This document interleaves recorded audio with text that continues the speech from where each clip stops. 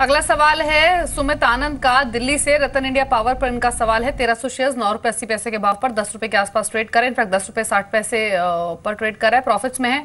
बाहर आ जाएँ या फिर होल्ड रखें सुमित?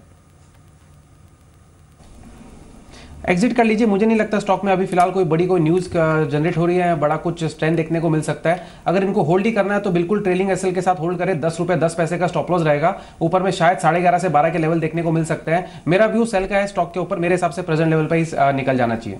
ऑल राइट व्हाट्सएप पर एक क्वेरी आई है। बैंगलोर से रवि ने पूछा है, दो सवाल हैं इनके। मारुति सुजुकी पर पूछना चाहते हैं।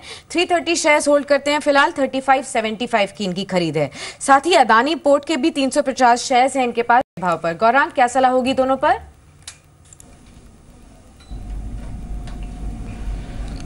साक्षी, मारुति पर बने रहे, हमारी कवरेज है। साल, डेढ़ साल के नज़रिए से 4450 के लक्ष्य निर्धारित हो सकते हैं। अडानी पोर्ट पर कवरेज नहीं है तो टिप्पणी नहीं कर पाऊँगा। अगला सवाल है, अमित मिश्रा का बेंगलुरु से हिताची होम्स पर क्वेरी है। 25 शेयर्स हैं 1400 के भाव पर 1100 के आसपास अभी ट्रेड कर, इनफेक्ट साढ़े ग्यारह के लेवल्स पर है। नुकसान हो रहा है, क्या करना चाहिए सुमित?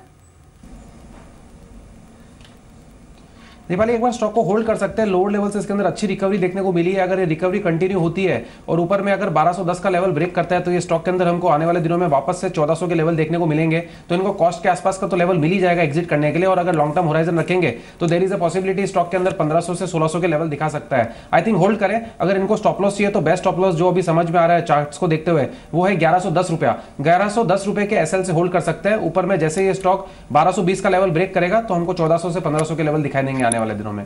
All right right. सूरत से रजत सोलांकी हमें पूछ रहे हैं आयशर मोटर्स पर सवाल 10 शेयर्स ये होल्ड करते हैं 19,800 पर।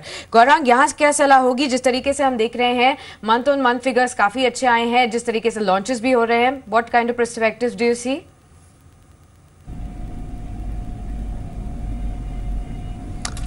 बेहतरीन निवेश है भले ऊपरी स्तर पर है जहाँ से मौजूदा काम कर रहा है बहुत ही मामूली से मुनाफे की गुंजाइश है।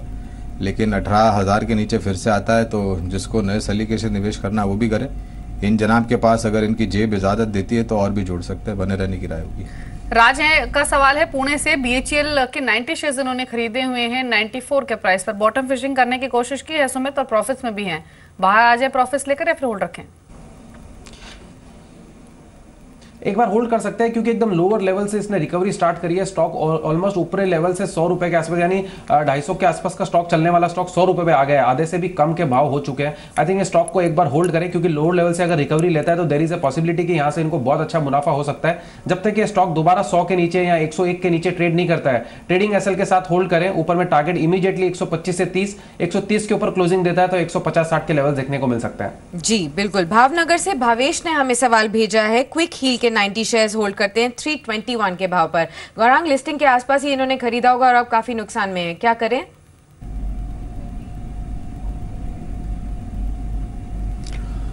वेल well, हमारी यहाँ पर अनफॉर्चुनेटली कवरेज नहीं तो विशेष रूप में मैं टिप्पणी नहीं कर पाऊँगा। और हाल ही में कुछ आईपीओ जो लिस्ट हुए वहाँ पर थोड़ा बहुत रुझान नकारात्मक बना है। अनफॉर्चुनेटली इससे ज़्यादा मैं कुछ नहीं कह पाऊँगा।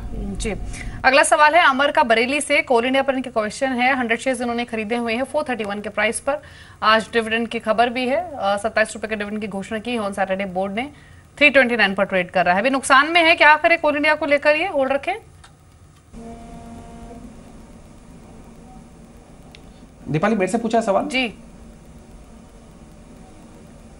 देखिए दीपाली स्टॉक तो अच्छा है, इन्होंने बस खाली प्रॉब्लम ये है कि बहुत ही ऊपर के लेवल्स पे स्टॉक ले लिया है। अभी एकदम लोअर लेवल्स पे ट्रेड कर रहा है। बट आई थिंक घबराने की ज़रूरत नहीं है कंपनी अच्छी है डिविडेंड भी अच्छा देती है। अगर होल्ड करेंगे तो आने वाले समय में इनको प्रॉफिट मिल सकता है। बस इनको एवरेज करने का सोचना होगा। अगर ये एवरेज करने के लिए तीन सौ के लेवल्स मिल जाते हैं तो वहाँ पर ये एवरेज भी कर सकते हैं। ऊपर में ये स्टॉक जब भी तीन सौ के ऊपर क्लोजिंग देना स्टार्ट करेगा तो ये स्टॉक के अंदर वापस से हमको चार सौ से सवा के लेवल देखने को मिलेंगे। स्टॉक के ऊपर होल्ड की सलाह रहेगी होल्ड करके चले।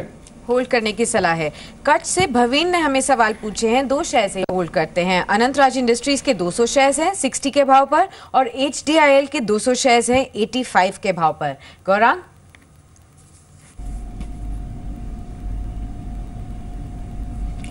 वेल well, अनंतराज पे तो टिप्पणी नहीं करूँगा। एचडीआईएल पर जो मैंने डीएलएफ के लिए कहा था वही मेरे ख्याल से कवायद इनको होगी। और रियल एस्टेट सेक्टर में जो ज़िक्र किया, Godrej Properties Mahindra Life Space Sobha Limited Oberoi Realty Prestige Estates ये बेहतर विकल्प है।